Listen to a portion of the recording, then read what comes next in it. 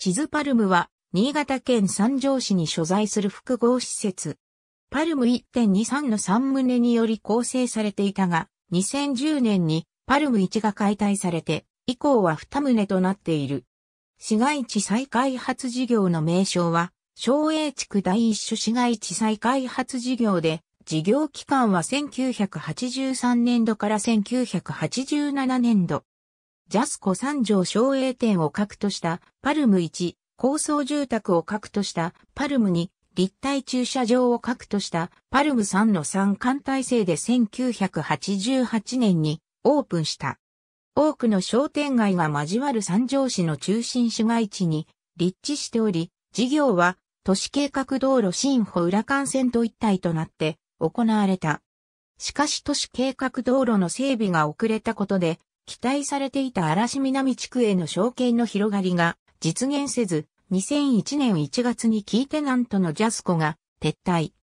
その後は1階部分に食品スーパーパワーズ富士見、丸いなどが入り、上層階は様々なテナントが入る形となったが、2010年にパルム1の全フロアが閉鎖となった。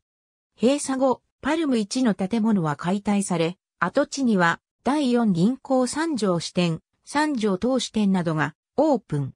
パルム1.2を結んでいたペデストリアンデッキは2015年に撤去された。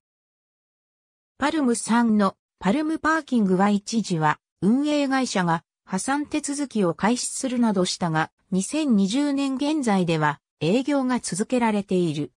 また、同年現在、パルム2の低層部やパルム3の外周部では、店舗等のテナントが入居し、営業が行われている。なお、都市計画道路新保浦幹線は、2016年までに三条、北バイパスの接続部を除く大部分の区間が開通した。三条市の滝沢市長が5大事業を打ち出し、その一つに南北縦貫道路及び、昭栄地区の市街地再開発事業が含まれた。昭栄地区は小売店を中心に店舗が集積する地区であり、1970年には約300メートルのオーバーアーケード、昭栄通りプロムナードが整備されていた。再開発事業はこのアーケード商店街東部の1の木戸商店街につながっていた部分で行われ、事業に伴ってアーケード商店街は寸断され西側の約100メートルのみを残す形となった。ありがとうございます。